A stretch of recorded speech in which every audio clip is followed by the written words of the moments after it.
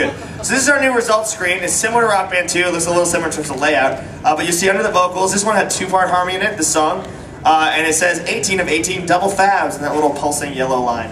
Uh, and that's double fabs are our double harmonies, triple fabs are our triple harmonies. And if we switch it to advanced vocal results with the back button, thank you, Eric, uh, you'll see that each of us have our part broken out with which line we sang and how many how the percentage we hit of that part overall in the song. So that way, since you're not assigned a vocal part, you can jump back and forth between melody and harmony at will. Uh, lets you know, I was trying to sing orange the whole time, but whoops, I sang blue for like a couple bars. Uh, so if you're playing and singing, you can't watch the screen for your immediate results. This gives you some details so you can get into it later. We think that's really great. We're psyched about that. Uh, let's get into our next song. We'll talk a little bit about the hardware while we're doing that. John, whose strap fell off, which is not his fault, is playing the Gretsch, uh, George Harrison Gretsch duo jet guitar. It looks sick. Um, it's really, really pretty. There's a real Gretsch on stage, like right there, which is pretty cool. They look pretty similar. Uh, that's the guitar that George played at the uh, Cavern Club, which you might have just seen, uh, as well as in the early part of the Beatles' career. He also played it uh, later on in his solo career, so it's one of his sort of iconic and favorite guitars. Over there, Eric Pope is holding the currently batteryless Rickenbacker 325 uh, John Lennon guitar, which he played on the debut at the Ed Sullivan stage. Uh, and so he's going to back away creepily now because that seems like a good plan. And all the way on the right side of the stage, Sean is playing the Hofner bass, which Sir Paul McCartney is known for and still plays today.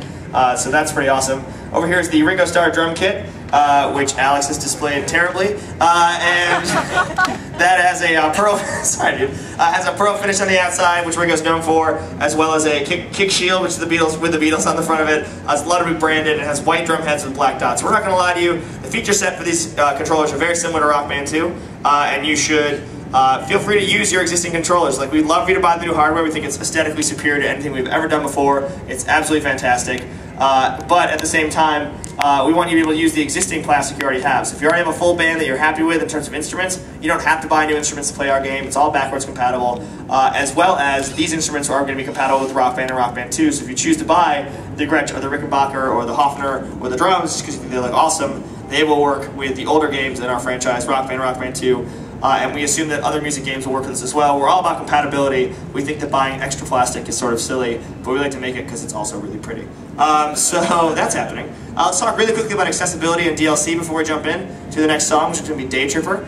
Uh, accessibility is our big design touchstone for this game. We want to make sure that anyone can jump right in and play the Beatles Rock Band. We have a lot of music fans who are hardcore, who've never touched a controller before, who start by playing a rhythm game.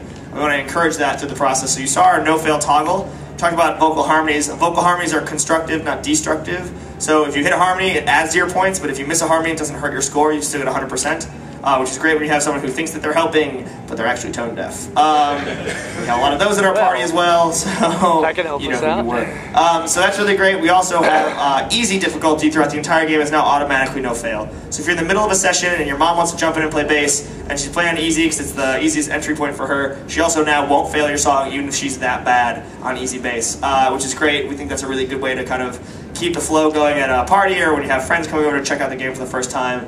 And last but not least, we have a great campaign mode in the game called Story Mode, which goes in chronological order through the Beatles campaign uh, and through their career. And uh, usually our campaign mode unlocks songs in quick play. But we realized since it's in chronological order, that would mean in quick play on day one when you get the disc, you can only play the Cavern Club and nothing else, and that's not really what we're about. We want you to have the full Beatles experience with all your friends right out of the box if you want it. So quick play now has all 45 songs unlocked automatically when you put the disc in. Uh, we think that's a great thing. So you can still play the story mode and progress through the campaign and learn a lot about the Beatles and what's going on. Uh, but you don't have to do that in order to play in their entire catalog from the Cavern Club to the rooftop concert. Uh, and we're going to show you some more of that in a little bit. Uh, the next venue is in Budokan, yes?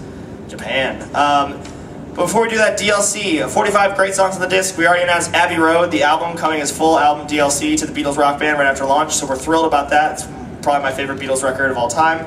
Uh, and you can play through it as an album in uh, the Beatles Rock Band, which is great. And we've also announced a single, All You Need Is Love, is going to be out uh, right after launch on excuse me, exclusively, exclusively on Xbox 360. Uh, and for a limited window, all the proceeds from that track sale are going to go to Doctors Without Borders, which we think is a great cause. Uh, Apple Corps and MTV Games came together and found a charity they were both really, really uh, enthused about, and we've decided to give this proceeds from this great song to uh, some people who need it. So we're thrilled for gamers to give back this fall uh, after the launch of the game. Uh, this is our second song, Day Tripper. Uh, you may have seen this in the Microsoft press briefing. We will try not to screw it up. Uh, and we're gonna try right now. This is Budokan from 1966 World Tour. Lots more screaming girls and uh, crowd shots. Check that out while we're watching. Go ahead and start it. Uh, there, oh my God, look at them. They're so excited.